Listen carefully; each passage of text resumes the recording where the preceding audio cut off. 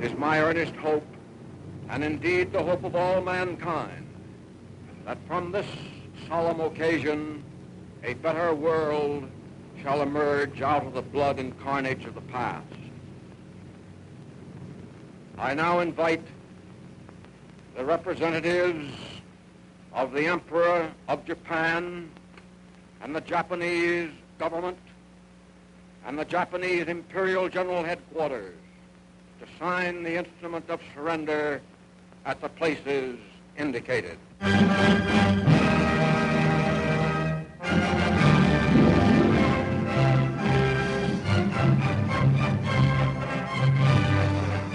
end of the war. The beginning of another peace. Peace if we can solve the problem of 70 million Japanese people. Here's where we clinch our victory or we muff Here's our job in Japan. What does a conquering army do with 70 million people? What does a conquering army do with the family of the Japanese soldier? Fathers, brothers, mothers, cousins of the soldier. What do we do with the soldiers themselves, back now in civilian clothes as part of the Japanese family? What to do with these people? People trained to play follow the leader.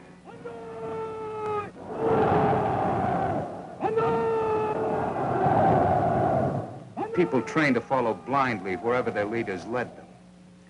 People who were led into waging a war so disgusting, so revolting, so obscene, that it turned the stomach of the entire civilized world.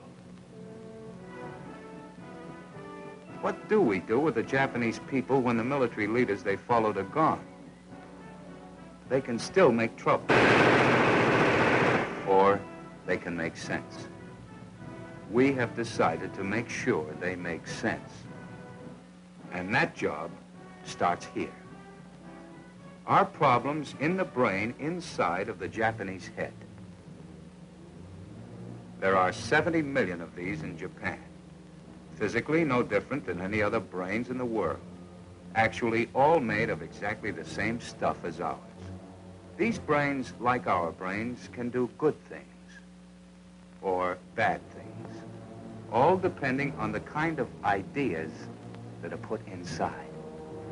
This kid starts life with the same brain as any other kid. None of them was ever born with a dangerous idea. No child ever said as his very first words, me, I can lick the whole cockeyed world. Ideas are taught to a child as he grows older. Teach him the good things, and he learns the good things. When he's taught playful ideas, his brain understands them. Practical ideas, his brain knows how to use them. Artistic ideas, his brain can enjoy them. When he's taught geometry, geography, or geology, he learns them. He can understand chemistry, architecture, engineering, law. Any sensible idea, any modern idea, the Japanese brain, like our brain, can learn when it is taught. And it was beginning to learn these things in an old, backward, superstitious country. While living in this setting, while living in a backward world, while still being taught the old-time stuff, the Japanese brain was starting to learn the new. And it might have made sense, except for one thing. This group had plans. Plans for themselves and plans for the Japanese brain. With such a brain, with its mixture of ancient and modern, some very interesting things could be done. A brain that thought in the modern way could be taught to use the latest modern weapons. A brain that also thought in the ancient way could be hopped up to fight with fanatical fury. If these men could hop it up, then the sky would be the limit to the things that they could do. They'd gain power, glory, and a great new worldwide empire that they could control as their own if They were smart enough to do tricks with a Japanese brain. They were smart enough. They did it in a very roundabout way. Through religion. Shinto, just one of several Japanese religions. An old religion, out of date, harmless. It had once been the official religion of Japan, but now a tired religion just lingering along with its dim, hazy, almost forgotten gods. Perfect setup for the warlords to move in on. This was the place they would use to hop up the Japanese brain. This religion would become the mouthpiece for the military gang. They made Shinto the official religion again. They took Shinto over. They made it a place where the people had to listen. They filled up the Shinto religion with hokum and used it to sell the Japanese people war. Sell the people ancient nightmares.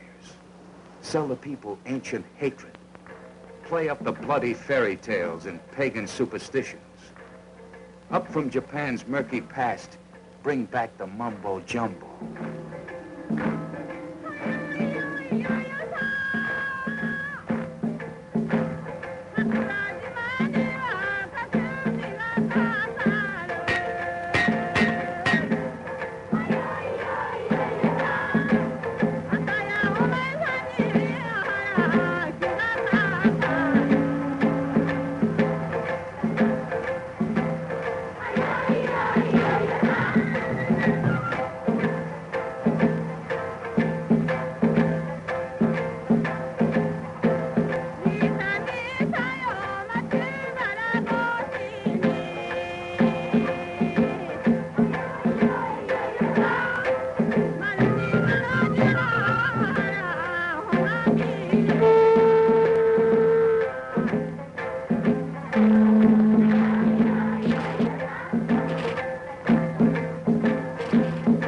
Steam up the emotions of the modern Japanese. That was the warlord's business. Muddle the modern Japanese mind. Hammer the ancient stuff in. Up from the barbarous bygone ages, bring back the ancient Japanese gods of war. Tell them of the glory of the samurai knights of old.